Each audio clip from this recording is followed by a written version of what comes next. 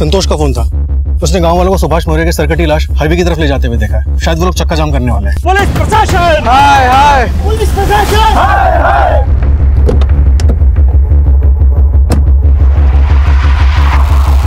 Police प्रशासन! हाय हाय। Police प्रशासन! हाय हाय। Police प्रशासन! हाय हाय। पुलिस प्रशासन! हाय हाय। पुलिस प्रशासन! हाय हाय। पुलिस प्रशासन हाय हाय! पुलिस प्रशासन हाय हाय! रुक जाइए। पुलिस प्रशासन हाय हाय! रुक जाइए।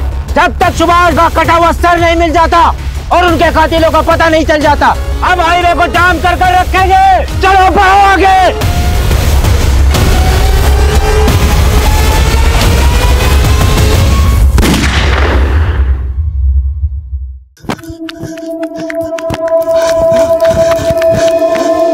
लो अनिल भैया। मार लो भोले बाबा का प्रसाद। अनिल भैया वो हमारी साइकिल तो आ जाएगी ना? वो बाबूजी पूछ रहे थे आपके भरोसे उस सरकारी स्कीम में इतना पैसा लगाया है ना? अनिल भैया अनिल भैया गजब हो गया। इतना हाफ़ क्यों रहे हो? वो सुखाराम की बैल पीछे पड़ गई है क्या? बैल नहीं पूरा गाँव पीछे पड़ा है। वो सरकारी स्कीम वाली लल्लन और बच्ची पांडे दिल्ली की ठगी निकले। वो सिलाई मशीन ट्रैक्टर वो सब झूठा था। सारे पैसे लेके भाग गए। अरे कब सुधरेगा तू अनिल पहले पूरे घर का पैसा डुबोया अब पूरे गाँव वालों को डुबो दिया। अरे खोपड़ी में दिमाग है, उसको चिल्ला मार के फूक दिया तूने। हम अपने भाई के बेवकूफ़ी के लिए आप सबसे माफ़ी मांगते हैं। गलती तुम्हारी नहीं, तुम्हारे भाई की है। इस काम के सभी लोग तुम्हें बहुत मानते हैं, जिसकी वजह से पंचों ने पुलिस को नहीं बुलाया। पर तुम्हारे भाई की वजह से जिन लोगों के पैसे डूबे हैं, वो तो लौटाने ही पड़ेंगे। तुम्हें एक साल का वक्त दिया जाता है। ताकि तुम पर अधिक दबाव ना पड़े।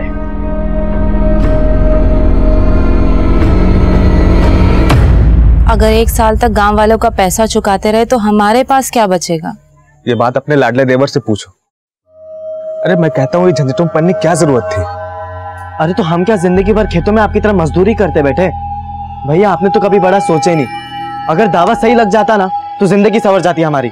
ज़िंदगी कोई बछड़ा नहीं है जो पैदा होते ही खड़ा हो जाता है। किस्मत और ज़िंदगी बदलने के लिए मेहनत करनी पड़ती है। भैया मेहनत करने से सिर्फ़ जरूरतें पूरी होती है सपने नहीं। चुप रहो। हमारे सपनों के चक्कर में और कितना झेलेंगे हम? अरे तुम मत झेलिए ना।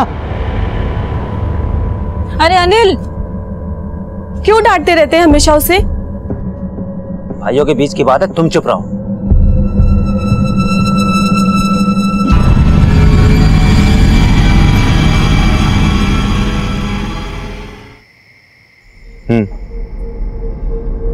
चलो बाद में बात करते हैं। अनिल?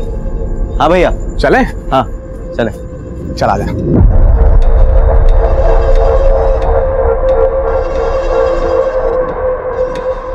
दीदी आप बड़ी किस्मत वाली हो। सुभाष भैया कितना ख्याल रखते हैं आपका। प्रकाश की याद आ रही है। फ़िक्र मत कर शहर गया है बॉर्डर पर नहीं। कुछ ही घंटों में आ जाएगा। उनके लौट के आने से भी क्या होगा दीदी? वो पास होते तब भी यही लगता है कि कहीं और है वो। उदास क्यों होती है? देखिए सब ठीक हो जाएगा। इन्होंने प्रकाश से बात की है।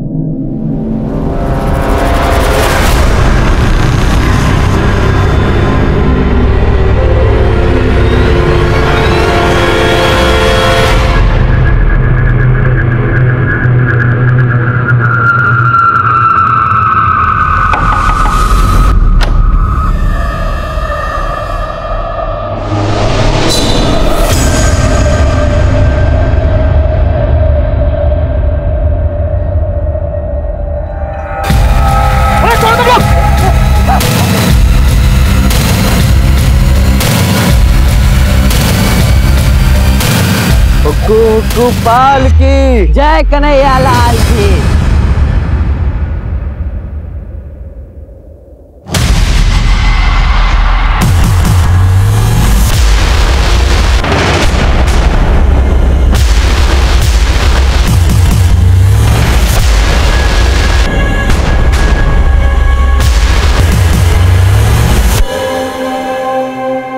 साला तुम में से कोई चिल्लाया ना गोली मार दूँगा?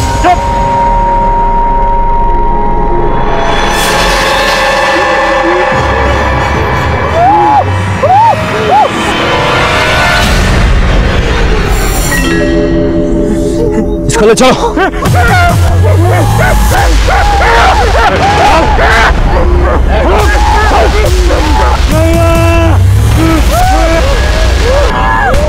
अगर कोई हिला तो गोली मार दूँगा।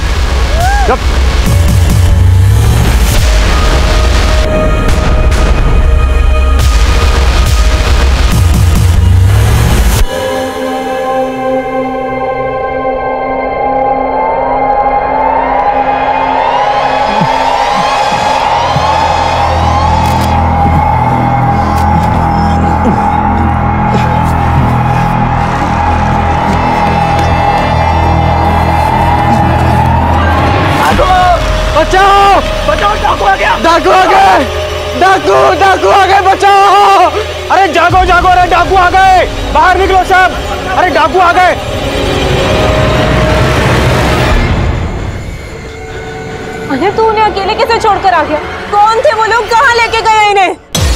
भाभी हमें कुछ भी नहीं पता। वो वो, वो बहुत खतरनाक लोग हैं। उन, उनके चेहरे पर कपड़ा था और उनके पास बड़ी बड़ी बंदूकें भी है। ऐसा करते हैं हम सभी मिलकर चलते हैं। आप सभी अपने अपने लाठियाँ लीजिए और मेरे साथ चलिए। और तुम तीनों चलो जगह दिखाने को। चलो चलो जल्दी चलो चलो। हे भगवान।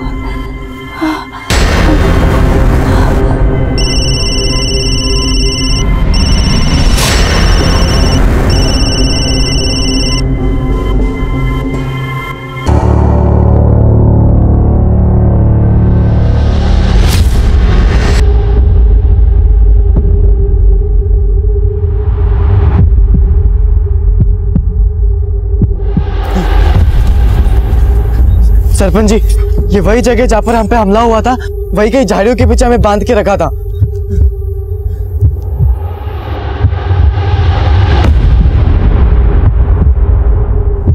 सभी लोग दूर दूर फैल जाइए और जल्दी से सुभाष को ढूंढिए। आसपास के सारे खेतों में जल्दी। सुभाष! सुभाष भैया! सुभाष सुभाष! सुभाष!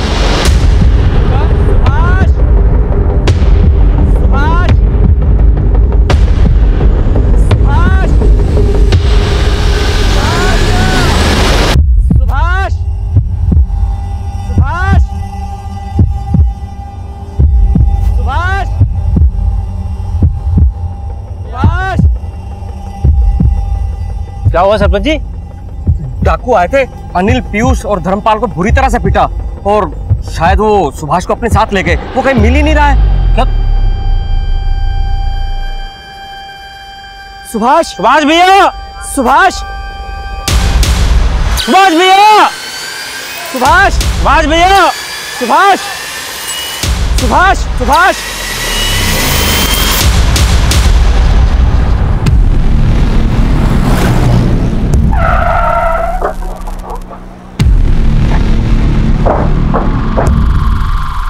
साहब, हमारा नाम धर्मपाल है। ट्रांसपोर्ट का काम है हमारा। टेंपो ट्रैक्टर ये सब भाड़े पर देते हैं हम। कल रात हिसाब का पैसा लेकर लौट रहे थे तो गमछा पहने तीन लोगों ने हम पर हमला कर दिया। हमें पीटा। एक के पास तो बंदूक भी थी साहब। हमसे हमारे पैसे भी छीन लिए। और फिर हमें बाँध कर वहीं इंतज़ार करने लग गए। और फिर बेचारा वहाँ सुभाष आ गया।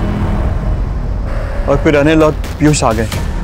साहब, हम और पीयूष वहाँ से खाट लेकर आ रहे थे। फिर अचानक हम पर लाठियों की बरसात होने लगी। हमें तो पता ही नहीं चल रहा था साहब के क्या हो रहा है। उन लुटेरों के चेहरे नहीं देखे तुमने। पर उनकी बातें तो सुनी होगी वो क्या बातें कर रहे थे आपस में?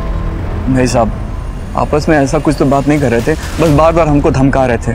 फिर हम सबको बाँध दिया साहब और सुभाष भैया को वहाँ से पीछे की ओर लेके चले गए। और साहब फिर थोड़ी देर बाद हमने हिम्मत की अपने हाथ खोले और अपनी जान बचाने के लिए भागे साहब। इससे पहले तुम्हारे गाँव में कोई ऐसी वारदात हुई है क्या? साहब इससे पहले भी एक दो लूटपाट की वारदातें हुई थी मगर वो लोग ऐसे किसी को साथ में नहीं लेके गए। प्रकाश तुम्हारे भाई सुभाष की किसी के साथ कोई दुश्मनी थी क्या?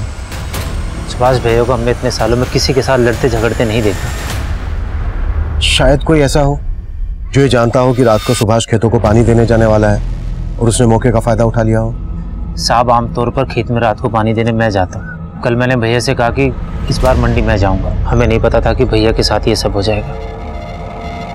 ये सब हमारे कारण हुआ। अनिल, पीयूष और धर्मपाल, तीनों के बयान बिल्कुल एक जैसे हैं। लग तो यही रहा है कि मामला लूट का है, पर एक बात समझ में नहीं आ रही है। अगर ये मामला सिर्फ़ लूट का है तो फिर वो लोग सुभाष को अपने साथ क्यों ले गए? सर, पूरा खेत और आसपास के जंगलों में शांत है।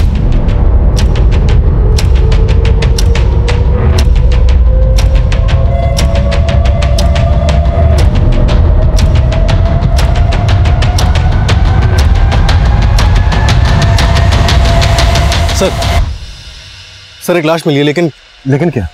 लेकिन उसका सर गायब है। वॉट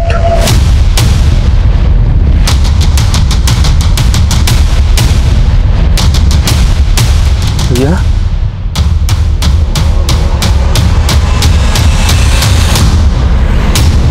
श्रीवास्तव, सिर भी यहीं कहीं आसपास होगा। ढूंढो।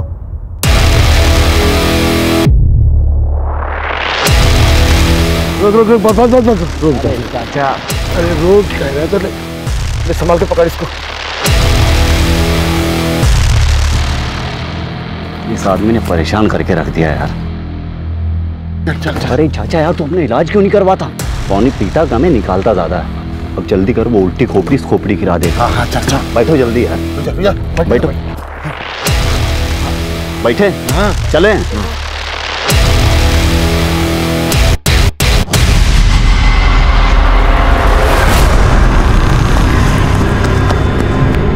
भाभी भाभी भाभी भाभी। सुभाष भैया। सुभाष भैया की लाश मिली है। भाभी भाभी क्या हो गया? हमने उस इलाके के आसपास का सारा जंगल दोबारा से छान मारा। पंद्रह घंटे चली सर्चिंग के बाद भी सुभाष का सर हमें कहीं नहीं मिला। इस दौरान सुभाष के परिवार के साथ साथ पूरा गाँव भी हमारे खिलाफ हो गया। पोस्टमार्टम के लिए वो हमें सुभाष का धड़ सौंपने के लिए तैयार ही नहीं थे। उन्हें समझाने के सारे प्रयास विफल रहे। और आखिर में बेकाबू हुए गाँव वालों ने चक्का जाम करने का फैसला किया। इससे पहले कि कोई अनहोनी घटे, हमें स्थिति को नियंत्रण में लेना था। गाँव वालों का खोया हुआ भरोसा वापस जीतना था। देखिए, हम लोग यहाँ आप लोगों की मदद के लिए ही आए हैं। आप लोग यही चाहते हैं ना कि सुभाष के कातिल पकड़े जाएँ? हम भी यही चाहते हैं। लेकिन उसके लिए ज़रूरी है सुभाष का पोस्टमार्टम होना। मेरे भाई का सर चाहिए मुझे। आपने तो हाथ खड़े कर दिए कि उसका सर नहीं मिला। अगर आप लोगों में से कोई हमारी बात को समझ रहा है तो प्लीज़ समझाइए इसे। देखो जितनी देर होगी पोस्टमार्टम रिपोर्ट आने में उतनी ही देर होगी तुम्हारे भाई को इंसाफ मिलने में।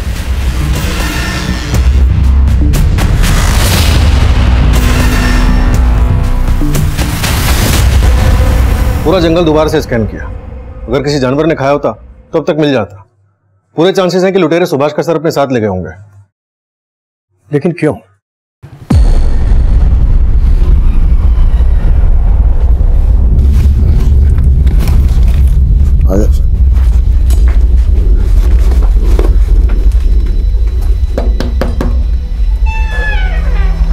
काम हो गया आपका। जैसी मांगी थी, वैसी खोपड़ी लाए। कातिल सर का क्या करेंगे, ये बात समझ में नहीं आ रही है। ये लोग पहले से उस जगह पर घात लगाकर बैठे थे। सबसे पहले इन्होंने धर्मपाल को पकड़ा, उसे पीटा, लूटा और बाँध दिया। और फिर वहाँ सुभाष आया, उसे भी पीटा और बाँध दिया गया। और फिर यही सब सुभाष के छोटे भाई अनिल और उसके कजिन पीयूष के साथ हुआ। लेकिन इन चारों को बांधने और पीटने के बाद उन्होंने सिर्फ़ सुभाष को चुना। उसे घसीट कर ले गए, उसका सर काटा, सर अपने साथ ले गए। ये भी तो हो सकता है कि ये मर्डर करने के इरादे से ही आए हो। लूटे कवरअप हो। सर अक्सर खेतों में पानी छोड़ने के लिए सुभाष का छोटा भाई प्रकाश जाता था। पर उस रात प्रकाश ने सुभाष किया हो सकता है कि टारगेट प्रकाश रहा हो और सुभाष गलती से मारा गया ये भी तो हो सकता है कि प्रकाश ने जानबूझकर अपने भाई सुभाष को भेजा ताकि वो मारा जाए। सर सबसे छोटा भाई अनिल। कभी रातों को खेत में नहीं जाता था लेकिन उस रात गया। एक काम करते हैं श्रीवास्तव। प्रकाश अनिल पीयूष और धर्मपाल इन चारों को फिर से टटोलते हैं। शायद कुछ हाथ लग जाए। हो सकता है मामला घर का ही हो। और पता करो सुभाष और उसके परिवार की गाँव में किसी के साथ कोई दुश्मनी तो नहीं थी? सुभाष बहुत ही अच्छा आदमी था। उसकी किसी के साथ कोई दुश्मनी नहीं थी। आप गाँव में किसी से भी पूछ सकते हैं। सब यही बताएँगे आपको। जी साहब सुभाष को इससे पहले कभी किसी से लड़ते झगड़ते नहीं देखा है। और अपने घर के लोगों से? सब वैसे तो तीनों भाइयों में बड़ी अच्छी बनती थी। पर छोटा भाई अनिल थोड़ा बिगड़ा हुआ है। उसकी किसी फर्जी स्कीम के चक्कर में कुछ गाँव वालों के पैसे भी अटके हुए थे। और गाँव वालों का इसके बारे में उसके साथ झगड़ा भी हुआ था। और सुभाष ने सबके सामने उसको थप्पड़ भी मारा था।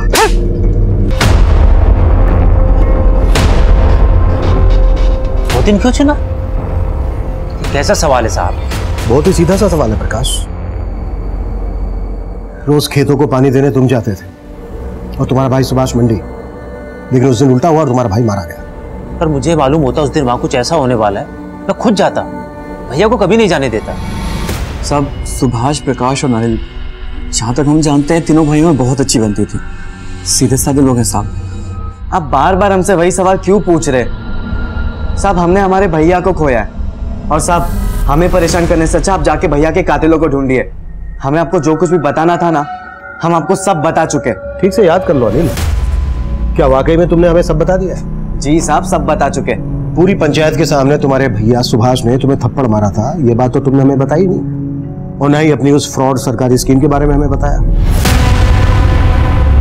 साहब अनिल ने जानबूझ के फर्जी स्कीम सबको नहीं बेची थी साहब। और सब धोखा तो हमारे साथ भी तो हुआ ना साहब। लेकिन सुभाष ने इसके लिए अनिल को जिम्मेदार ठहराया था। उसकी बेइज्जती की थी सबके सामने। इसलिए अनिल ने और तुमने मिलकर सुभाष को ही कहीं। ये क्या बोल रहे साहब आप? ना मैं ऐसा कर सकता हूँ ना अनिल। तो क्या प्रकाश ऐसा कर सकता है? आप पागल हो गए। हमारे लिए और प्रकाश भैया के लिए सुभाष भैया पिता समान थे। सब कुछ भी बोले जा रहे हो आप। गुस्से की धार अक्सर रिश्तों की डोर काट देती है। जब सुभाष ने सबके सामने तुम्हें थप्पड़ मारा था गुस्सा तो आया होगा तुम्हें। तीनों भाइयों का रिश्ता इतना कच्चा नहीं था साहब। लेकिन ये बात एकदम पक्की है कि किसी ने तगड़ी दुश्मनी निकाली तुम्हारे भाई से। वरना कोई उसका सर काट के क्यों ले जाता अगर दुश्मन घर के भीतर का नहीं है तो फिर कौन हो सकता है? हम नहीं जानते। पता नहीं साहब।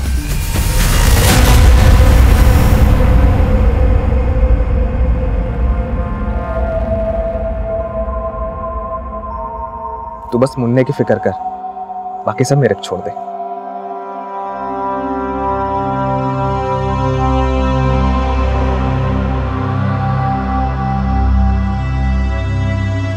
दीदी, मुझे कुछ ठीक नहीं लग रहा है। प्रकाश कभी मंडी नहीं जाते थे, लेकिन उस दिन गए। उस रात जब ये सब हुआ तो हमने उन्हें फ़ोन भी किया था। उन्होंने फ़ोन काट दिया और फिर बंद कर लिया। क्या ये सब इत्तेफाक है? प्रकाश, अनिल, पीयूष, धर्मपाल, सबके सब एक ही बात दोहरा रहे हैं। इनमें से कोई तो है जो कुछ छुपा रहा है। कुंडली निकालो सबकी। सर जिस तरह से सर काटा गया उससे लगता है किसी पेशेवर का काम है। तीन लोग थे। किसी गैंग से जुड़े हुए हो सकते हैं। शायद सुभाष के किसी दुश्मन ने सुपारी दी। पंजरिया गाँव के आसपास के हिस्ट्री शीटर्स को खंगालो। खबरियों को लगा दो काम पर। और रिकॉर्ड कब तक आ रहे हैं? कल तक आ जाएँगे सर। गुड। मर्डर का मोटिव पता करना होगा। सुभाष को क्यों मरवाया गया और उसके सर के साथ क्या किया गया?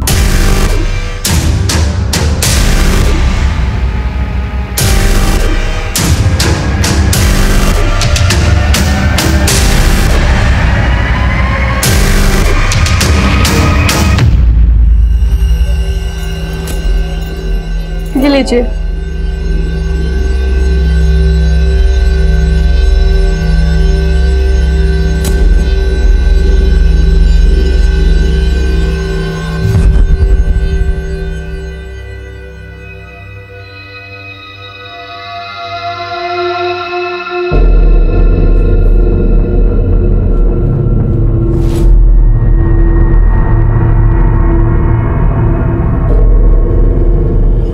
साहब सुभाष के घर पे तो मातम सा छाया हुआ उसके परिवार के हर मेंबर पे नज़र रखे। लेकिन कोई हरकत नहीं दिखाई दी। सब लोग शोक में ही है। और पंजरिया में कोई नया बंदा दिखा जिसने शायद सुभाष की सुपारी ली हो? वो काम भी चल रहा है सर। सुपारी लेने वाले सभी गैंग में छानबीन कर। जैसे कुछ पता चलता मैं आपको बताता हूँ। भाभी अगर उस दिन हम भैया की जगह मंडी नहीं गए होते। आज सुभाष भैया हमने उस रात आपको फ़ोन भी किया था। आपने फ़ोन काट दिया और फिर बंद कर दिया। क्यों? हम भाभी से बात कर रहे हैं अंदर जाओ। हमसे कुछ छुपा नहीं है। ज़्यादा होशियार मत हो क्या बात करें तुमसे? जब से तुम इस घर में आई हो ना पूरा सुकून छीन लिया है।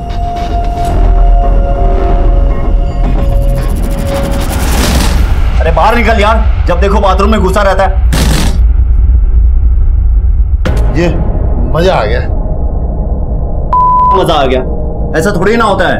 इतनी मेहनत की है पैसे मिले नहीं है। अरे भतीजे थोड़ा ठंड रख। तेरे चाचा ने डबल डील की है। एक कटे हुए सर के दो इनाम मिलने वाले देर सवेर तो होती रहती है। इधर ज़्यादा देर रुकना ठीक नहीं है। खाकी वर्दी वाले कुत्ते सूंघ लेंगे हमें। अरे भतीजे कहा ना थोड़ी ठंड रख कुछ नहीं होगा। एक ऐसे ही चाचा भतीजे की जोड़ी देखी थी हमने। दिखने में ऐसा लगता था किसी पागल खाने से भाग कर आए हैं। भतीजे कितनी बार तुमको बोले हमारे रहते जेब में हाथ मत डाला करो। ए बजा बजा। बजा। कितना बोलो? चालीस चालीस सब उतना नहीं है।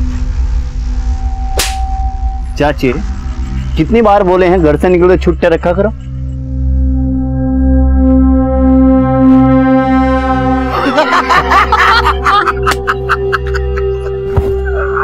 बड़े अजीब लोग थे। या यूँ कहें कि पूरे के पूरे पागल थे। अच्छा मगलू ये सुभाष मौर्य की फैमिली के बारे में कुछ मालूम है क्या? किसी से कोई दुश्मनी कोई अनबन। कैसी दुश्मनी? बड़े ही मामूली लोग खेती बाड़ी करने वाले। पर हाँ जब हमें यह मालूम चला कि सुभाष मौर्य का सर गायब है तब मेरे दिमाग की बत्ती चली। अच्छा तो अपने इस दिमाग की बत्ती की रोशनी जरा हमारे केस पे भी डालना क्या है? कि मुझे ये मामला ना दुश्मनी का नहीं लगता। तो? हमें लगता है कि ये जादू टोने का मामला है। ये छह महीने पहले पास के गाँव में बिल्कुल ऐसा मामला हुआ था। बस फ़र्क इतना है कि यहाँ हाथ गायब थे यहाँ सर गायब है। सर सुभाष की पोस्टमार्टम रिपोर्ट आ गई है। गला किसी तेज धार वाले हथियार से काटा गया। वो भी एक ही बार में। बॉडी पे गए घाव है लेकिन मौत गला कटने से हुई है। लेकिन ये सर काट कर ले जाने के पीछे क्या मकसद हो सकता है? सर ये कोई घरेलू मामला नहीं लग रहा है। खबरी भोला से फ़ोन पे बात हुई थी वो भी आ ही रहा है। उसका कहना है कि पंजरिया से कुछ 25 किलोमीटर दूर सूरागंज गाँव में कुछ इसी तरह की वारदातें घटी थी। कहना है कि कोई जादू टोने वाला मामला है। जादू टोना? यानी नरबली दी गई है। लेकिन उस वक्त वहाँ पर चार लोग मौजूद थे। उनमें से सिर्फ़ सुभाष को ही टारगेट क्यों बनाया गया?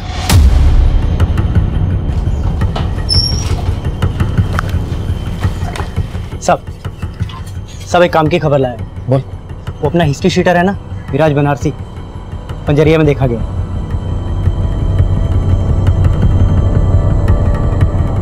मिराज बनारसी। मिराज बनारसी लूट के काफ़ी बड़े केसेस में इन्वॉल्व रहता है। तो दो हज़ार रुपए की लूट के लिए इतनी मेहनत क्यों करेगा? हम्म? बाद में कोई वज़न नहीं है। एक भारी खबर भी लाया साहब। बोलना। गाँव में दो नए कबूतर आए चाचा भतीजे की जोड़ी। देखने में पागल टाइप के हैं। सर हो सकता है कि उनका इस केस में कोई हाथ हो। चचा भतीजे की जोड़ी। जिसने भी इस जोड़ी को देखा है उसकी मदद से इनके स्केचेस बनवा। और ये जादू टोने के बारे में क्या बोल रहा था? हाँ साहब। वो सूरागंज गाँव है ना साहब वहाँ पे भी ऐसे दो केस सामने आए। दो लाशें मिली। एक का सर गायब है और एक का हाथ।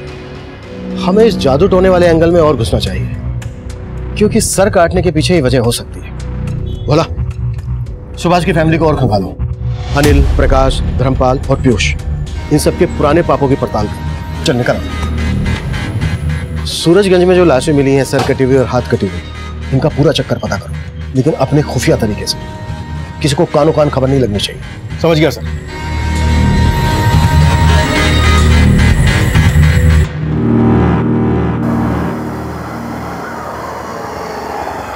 नाम तो हमारा इंद्रजीत है लेकिन ज़िंदगी से हारे हुए। राहु केतु किस्मत पे ऐसा डेरा डाल के बैठे हैं कि पूछो नहीं। बहुत उम्मीद लगा के तुम्हारे इस गाँव में आए हैं। भैया सुना है कोई जादू टोने वाले बाबा रहते हैं यहाँ पे बाबू सही जगह आए। आओ मेरे साथ। यहाँ एक बाबा सुल्तानपुरी रहते हैं जो रूहानी ताकतों को बस में करना जानते हैं। ऐसा कोई मर्ज नहीं जिसका इलाज ना हो उनके पास में। बोलो तो मैं मीटिंग करा दूँ मगर तुमको मुझे एक हज़ार रुपये देने होंगे।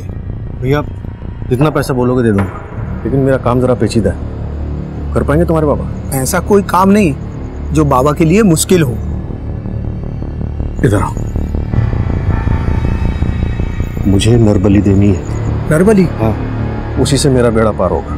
कर पाएँगे तुम्हारे बाबा? हो तो जाएगा मगर थोड़ा पैसा ज़्यादा लगेगा। अरे भैया जय हो सुल्तानपुरी बाबा के लिए चलो मुझे वहाँ पे। चलो जल्दी चलो। तुम्हारी बिगड़ी बन जाएगी।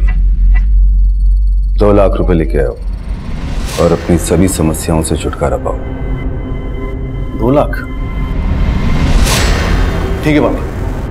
मैं अभी जुगाड़ करके लेकर आता हूँ।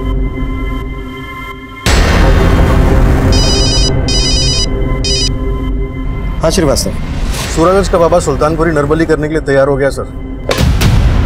ले आओ इस बाबा को। अब इस पर जादू टोना हम करेंगे हमारे तरीके से।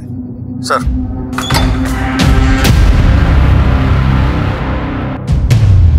एक और हम जादू टोना और नरबली के एंगल में आगे बढ़ रहे थे और दूसरी तरफ़ बाबा सुल्तानपुरी का यूँ भाग जाना हमारे शक को और पुख्ता कर रहा था। हम हर उस दरवाजे पर दस्तक दे रहे थे जो इस केस का रास्ता खोल सकता था।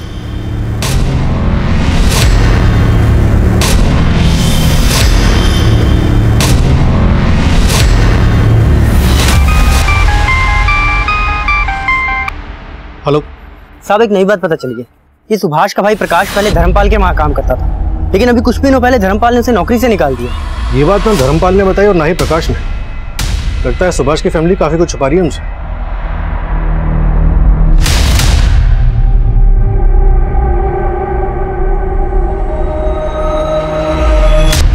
प्रकाश धर्मपाल के लिए काम करता था ये बात दोनों ने छुपाई हमसे।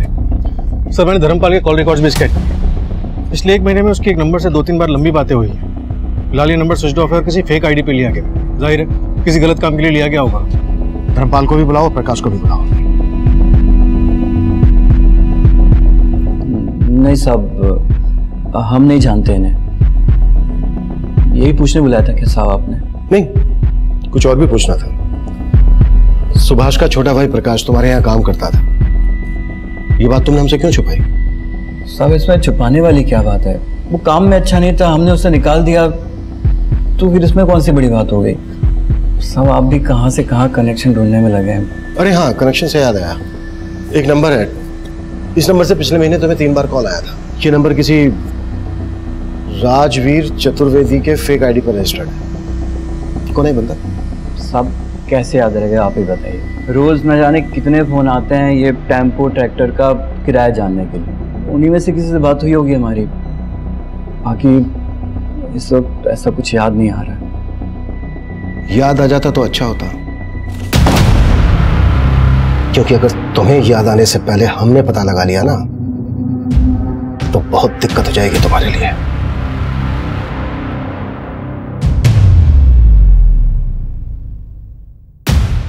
सर इन फ़ोटो के बारे में बता चुके हैं। हम इनमें से किसी को नहीं जानते। सर हम धर्मपाल के यहाँ नौकरी करते थे। उसको सही नहीं लगा उसने हमें निकाल दिया। प्रकाश तुम्हें क्या लगता है ये धर्मपाल मरवा सकता है तुम्हारे भाई को? तुम्हारे भाई की कोई दुश्मनी रही है धर्मपाल के साथ? सर धर्मपाल उस दिन खुद मरते मरते बचा। आप उस पर भी शक कर रहे हैं? आपके सवाल हो गए तो जाऊँ मैं सर?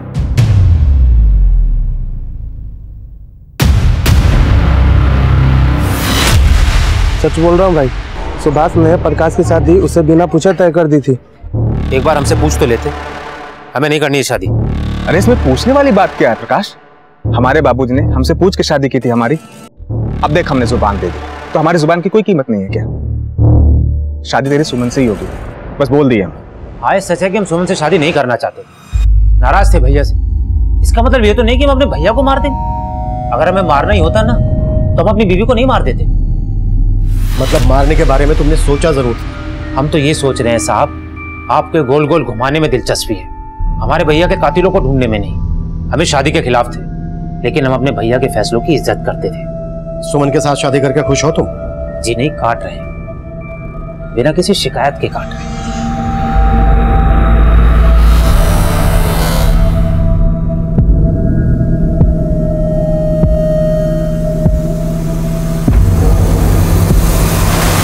प्रकाश, तुम आग से खेल रहे हो। और देखना, ये आग तुम्हारे साथ साथ हमारे पूरे घर को जला देगी। सुमन बहुत अच्छी लड़की है। अगर तुम उसका दिल दुखाओगे तो समझो तुमने हमारा और अपनी भाभी का दिल दुखाया बाकी तुम्हारी मर्ज़ी।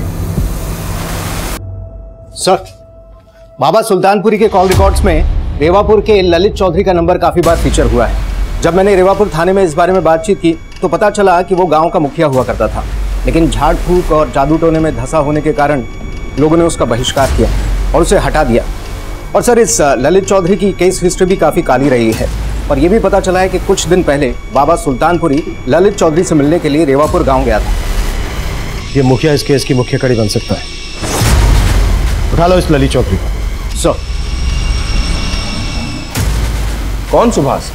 और ये कौन बाबा सुल्तानपुरी?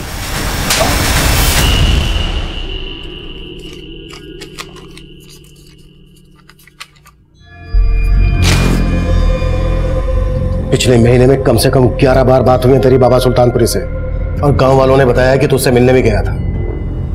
अब जल्दी से बाबा का ठिकाना बता दे हमें। नहीं तो तुझे ठिकाने लगा दूँगा।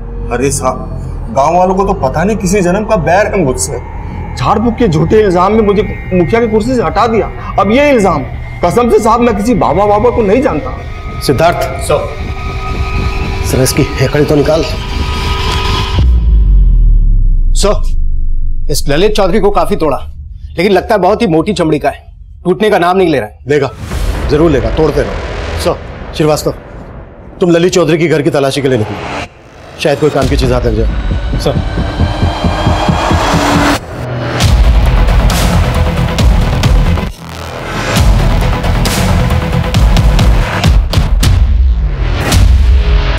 आपने बिल्कुल सही सुना है साहब ये ललित चौधरी झाड़ फूक में बहुत माहिर है। कई बाबाओं से ताल्लुक है इसके। और कई बार तो रात में अपने खेत में जाके पता नहीं कौन सी काली विद्याएँ आजमाता है ये। ललित चौधरी का खेत कहाँ पर है?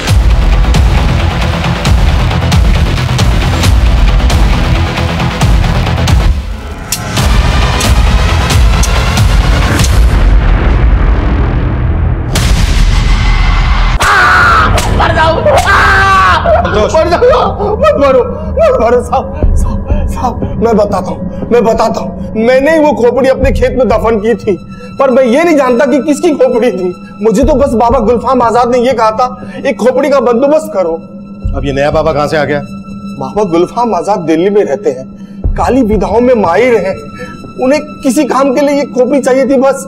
ये बात मैंने बाबा सुल्तानपुरी को बताई उन्होंने खोपड़ी लाके दी। बस साहब इसके अलावा मुझे कुछ नहीं मालूम है साहब। पूरे चांसेस हैं कि एक खोपड़ी सुभाष की ही है। फिर भी कंफर्मेशन के लिए डीएनए टेस्ट करवाओ और दिल्ली वाले बाबा गुलफाम आज़ाद से भी जाकर मिलो। यस सर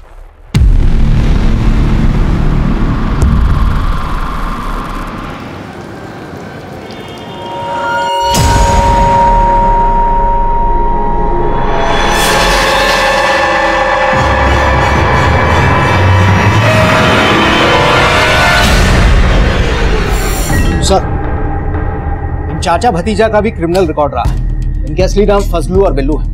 पंजाब में लूट और मारपीट के दो तीन केसेस में इनका नाम उछला था। कुछ टाइम अंदर भी थे। सुभाष की मौत के आसपास फजलू और बिल्लू पंजरिया में देखे जाते हैं। हो सकता है इस बार ये चचा भतीजे मारपीट और लूटपाट से आगे निकल गए हो। मर्डर की सुपारी ली हो। हिस्ट्री शीटर मिराज बनारसी भी इसी दौरान देखा जाता है।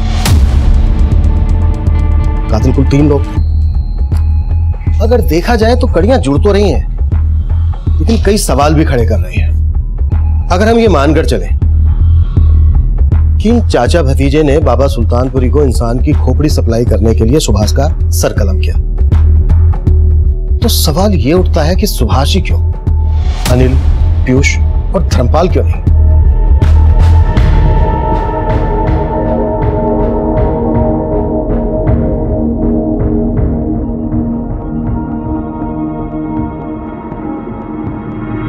तेरी ज़िंदगी पर शैतानी रूहों का साया है और इन शैतानी रूहों से लड़ना इतना आसान नहीं है। तेरे हाथ की लकीरों को बदलने के लिए मुझे एक नया हाथ चाहिए। तुझे किसी आदमी का दाया हाथ काट कर लाना होगा। बाबा आपका दाया हाथ काट दूँ चलेगा? जनाब आप मुझ पर बेवजह शक कर रहे हैं। बेवजह शक कर रहे अब मेरे पास एक खोपड़ी आई ज़रूर थी, लेकिन वो खंडित थी इसलिए मैंने उसे वापस कर दी। अब वो खोपड़ी किस? आदमी की थी, ये मुझे नहीं पता। अब मैं किसी सुभाष सुभाष को नहीं जानता। ना, मैं इसमें से किसी को नहीं जानता। जनाब, मैं गुनाहगार नहीं हूँ। रूहानी ताकतों का इस्तेमाल मैं लोगों की परेशानियाँ दूर करने के लिए करता हूँ। बस। बस। अब खुद की दूर करने के लिए करना, क्योंकि चेन में तुझ पर बहुत सी परेशानी आने वाली है।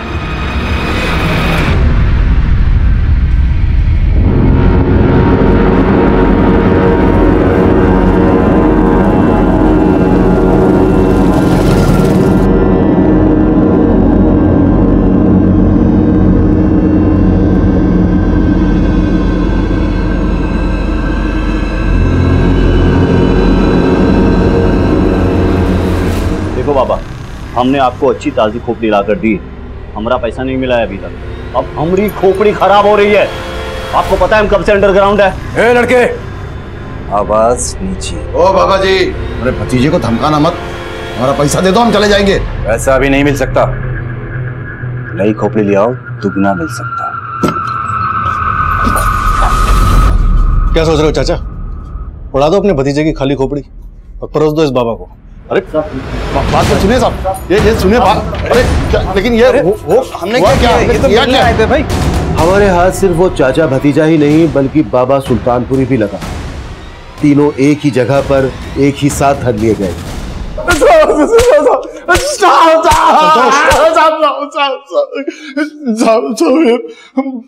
बाबा सुल्तानपुरी बहुत उल्टी खोपड़ी है साहब। उसने हमको दो लाख रुपए ऑफ़र दिया।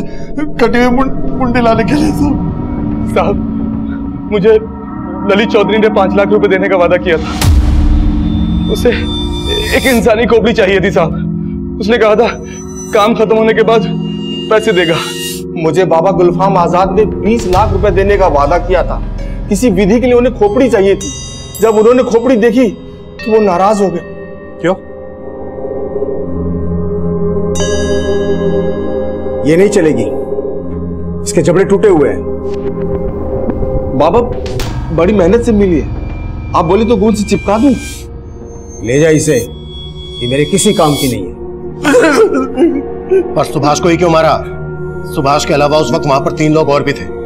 सुभाष को ही क्यों टारगेट बनाया गया? साहब साहब ये चुनाव मेराज बनारसी ने किया है।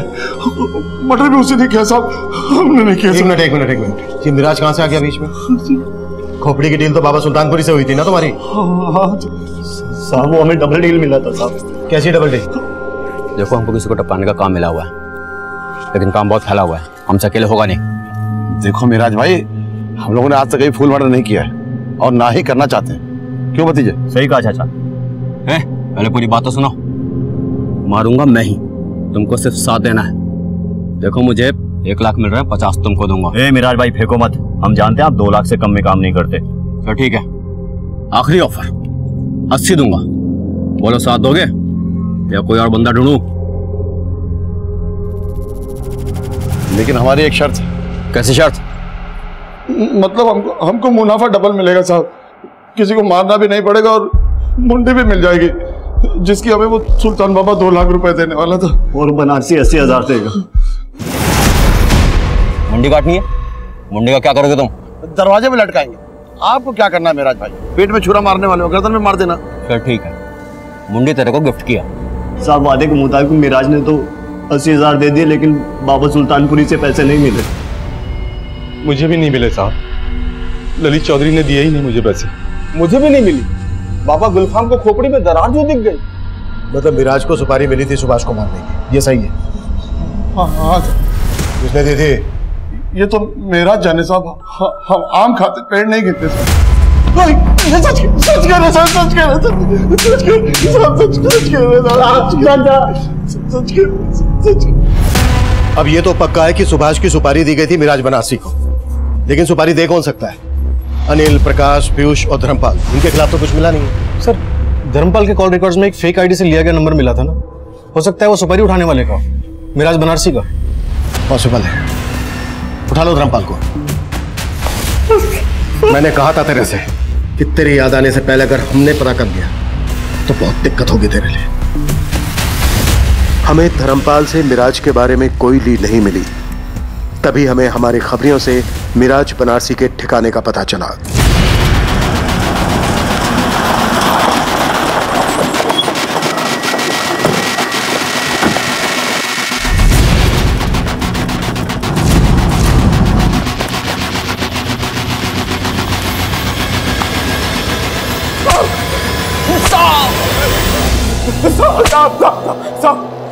और मत मारना साहब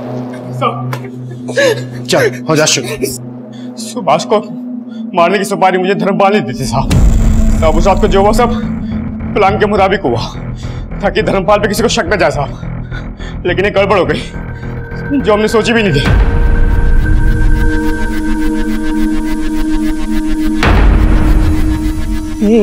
रहा है बांधो बांधो जल्दी बांधो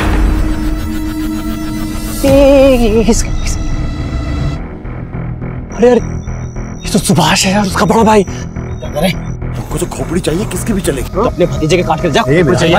ए, भाई का बदला भाई से लेंगे मार दो इसे हम जानते थे कि बड़े भाई सुभाष ने पूरी फैमिली को जोड़कर संभाल कर रखा हुआ है। हमें लगा कि अगर सुभाष ही मर जाएगा तो उसका पूरे परिवार ही बिखर जाएगा। और यही सजा होगी उसके किए की। किसकी बात कर रहा है? प्रकाश की अनिल की? प्रकाश की। एक वक्त था साहब जब प्रकाश हमारे लिए काम किया करता था। हम उस पर पूरा भरोसा करते थे। घर से कुछ भी लाना ले जाना हो तो उसको ही भेजा करते थे। लेकिन उसी ने हमारे घर पर डाका डाल दिया। लीजिए भाभी हो गया आपका टीवी ठीक। कल ही तो ठीक किया था बार बार बिगड़ क्यों जाता है? नहीं समझे। देखो हमारी आँखों में सुंदर नहीं है क्या हम? अच्छा हमें ये बात पता चली तो हमने उसे काम से ही निकाल दिया। और हमारी ज़िंदगी दुश्वार हो गई। शर्म नहीं आती तुम्हें? मालकिन होकर हमारे मुलाजिम के साथ। अब तुमसे तो कुछ होता नहीं है। मीनाक्षी! खबरदार ऐसी हरकत की तो। हाथ तोड़ देंगे। प्रकाश इस घर में आता है आता था और आता रहेगा। समझे? मीनाक्षी तो बेशरम। लेकिन प्रकाश को तो समझना चाहिए था। अपनी बीवी को धोखा दे रहा था। मेरा और उसका दोनों का घर उजाड़ रहा था वो। अब हमने उसको समझाने की बहुत कोशिश की, लेकिन वो फिर भी हमारे घर पर आता रहा। तो हमने तय कर लिया कि प्रकाश को हमारी बेइज्जती की कीमत चुकानी पड़ेगी। हमने मिराज बनारसी को उसकी सुपारी दे दी और प्रकाश की किस्मत। उस रात उसकी जगह उसका भाई सुभाष आ गया। लेकिन अच्छा ही हुआ साहब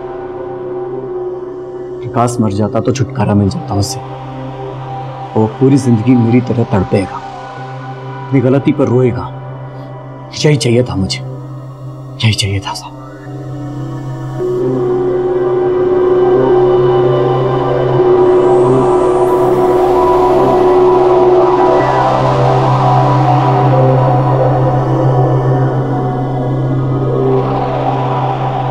धर्मपाल जुडिशियल कस्टडी में है। धर्मपाल की पत्नी मीनाक्षी ने कोर्ट में डिवोर्स फ़ाइल कर दिया है और दिल्ली से पकड़े गए बाबा गुलफाम आज़ाद ने इंटरोगेशन में ये कन्फेस किया कि वो देश के पाँच राज्यों में ऑर्गन सप्लाई का रैकेट भी चला रहा था। धर्मपाल के अंदर एक लावा उबल रहा था। उसकी पत्नी की बेवफाई और ताने उसकी मर्दानगी को चोट पहुँचा रहे थे। और आखिर एक दिन ये लावा फटा, जिसमें एक निर्दोष अपनी जान गंवा बैठा। सुभाष को इस बात का आभास बहुत पहले ही हो गया था कि उसका भाई आग से खेल रहा है। उसने होने वाले जुर्म की दस्तक महसूस की थी और सबको चेताया भी था। पर अफसोस। इत्तेफाक के रचे इस खेल ने सुभाष को इस जुर्म का शिकार बना दिया। इस केस में एक और पहलू सामने आया, जो हमारे समाज का बहुत बड़ा दुश्मन है। झाड़ फूक मैली विद्या जादू टोने अंधश्रद्धा अक्सर ये टोटके डर के साय में पनपते हैं और ढोंगी, पाखंडी बाबा इसकी आड़ में फैका कारोबार करते हैं। किसी दूसरे इंसान की बलि देने से आपकी ज़िंदगी के सारे कष्ट दूर हो जाएँगे। ये बात सुनने में ही कितनी वाहियात और घिनौनी लगती है। लेकिन दुखद सच्चाई यही है कि लोग न सिर्फ़ इस पर विश्वास करते हैं, बल्कि अमल भी करते हैं। हमारा इस केस को दिखाने का मकसद है देश में चल रही ऐसी अमानवीय रीतियों के खिलाफ लोगों को जागरूक करना। दूसरे लोगों की गलतियों से उनके अनुभवों से सीखना ही समझदारी है। अब मैं सीनियर इंस्पेक्टर अभिमन्यु जिंदल आपसे इजाज़त लेता हूँ। आपसे फिर मुलाकात होगी एक नए केस के साथ। क्राइम पेट्रोल दस्तक मकसद बताना नहीं, बचाना है। क्राइम पेट्रोल के और भी दिलचस्प कहानी देखने के लिए हमारे चैनल को सब्सक्राइब करें और बेल आइकॉन दबाना न भूलें।